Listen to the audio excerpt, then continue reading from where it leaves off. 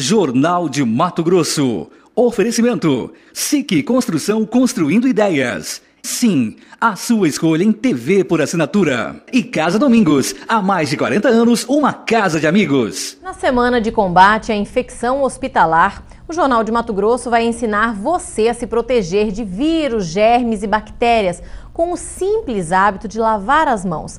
Essa atitude ainda é a melhor maneira de se prevenir contra diversas doenças. Você já parou para pensar em quantas coisas pegamos durante todo o dia? Em quantos lugares passamos a mão? É, é a mesma mão que coçamos os olhos, que levamos à boca, que pegamos na comida. Essa é a principal via de transmissão de micro-organismos.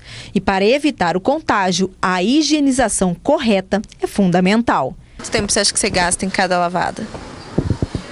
Ah, uns 3 segundos, 5 segundos, sei. E para comer esse pastel, você lavou a mão antes? É. Não. Tenho costume de lavar, não é, não é lavar com aquele sentimento de, de culpa, que tudo que você pegar tem que lavar a mão, não é por aí não. Mas tem hora que não é preciso lavar a mão, não. Uma pesquisa mundial constatou que 40% das pessoas não têm o hábito de lavar as mãos depois de ir ao banheiro, por exemplo. Para que as mãos fiquem bem limpas, a asepsia dura em torno de 15 a 30 segundos. Já para os profissionais da área de saúde, a higienização é ainda mais criteriosa para evitar casos de infecção hospitalar. Esta enfermeira explica como fazer o procedimento correto. Eu preciso abrir a torneira com a mão que eu uso menos. É importante também, antes de abrir, tirar o relógio, anéis. Então, nós abrimos a torneira. Pego um pouco do sabão líquido, que é o sabão ideal. Eu vou lavar palma. Eu vou lavar o dorso das mãos, tá? Eu vou lavar entre os dedos e depois eu lavo cada dedo das duas mãos. Depois eu vou lavar as unhas. Depois disso, a gente lava o punho. E a partir daí eu enxaguar a minha mão.